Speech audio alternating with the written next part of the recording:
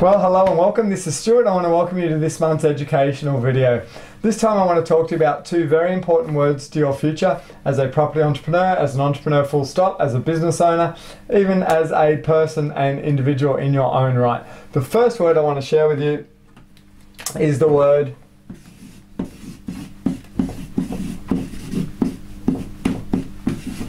is the word outcomes. You see, everyone's looking for a certain outcome in uh, business or property ownership. Most of them think that it's the financial freedom or the money or the big prize. You know, it's the it's the fifty thousand dollars I want to make on this reno. It's the hundred and fifty grand I want to make on this development site. It's the uh, eight uh, percent return I want to make on this share trade. Or you fill in the blank here, and that's fine. It's good to know where the outcomes lie because I'm always telling you that um, clarity is power. You know, it's okay to start in confusion, but we want to move into clarity. Clarity is power, and the thing you want to get clear on is the outcome. However, here's the line I'm always saying most people grossly overestimate what they can achieve in one year, but they grossly underestimate what they can achieve in five. So the outcomes need to be broken down. Certainly, you need to have your big outcomes. That might be the dollar value, that might be the project size, that might be a whole bunch of things. However, each one of those big outcomes ultimately is broken down to a whole lot of what? Absolutely. Small outcomes. So here's the thing, you know, if you're looking to succeed at uh, renovation, you've got to find that renovation site. So, you know, that might require some phone calls. Every phone call you make has an outcome. Before I pick up the phone, what is the outcome of the call that I want here? I'm clear on it before I pick up the phone, before I go into an auction, before I go to a meeting, before I go to a council uh, debrief session or something.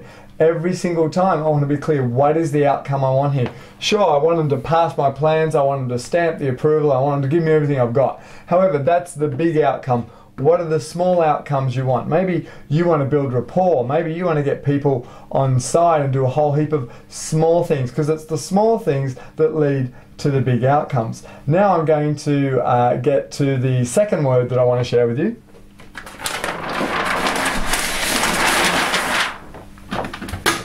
And the second word is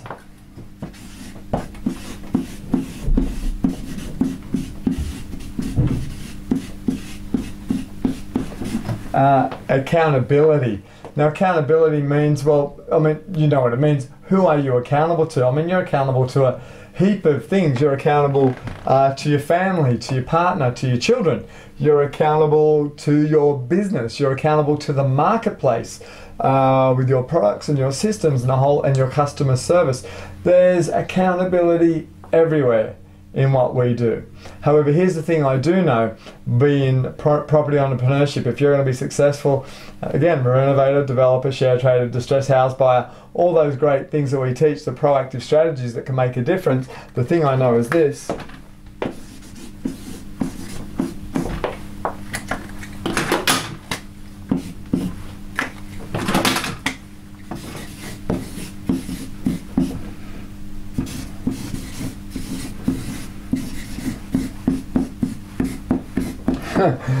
most accountability equals most money. I've written income or most outcome would be a better word since we used the first one.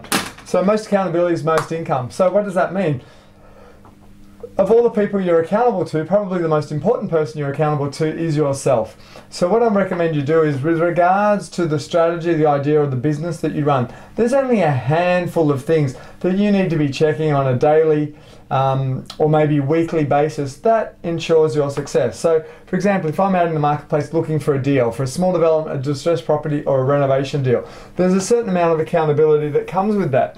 So, you know, is it I need to check all the auctions, uh, properties going to auction that week? Is it I need to send out a certain number of letters that week? Is it I need to knock on a certain number of doors that week? You have to decide what are what we call the dollar productive behaviors that produce the big results and then you've got to make yourself accountable. So then, now, no more than five to seven maybe on a sheet. You need to tabulate this, um, you know, Monday to Friday or Saturday if you work that as well, and put these seven things down. and you need to fill them in every single day. How many phone calls did you make if that's one of them? How many doors did you knock on? How many auctions did you go to?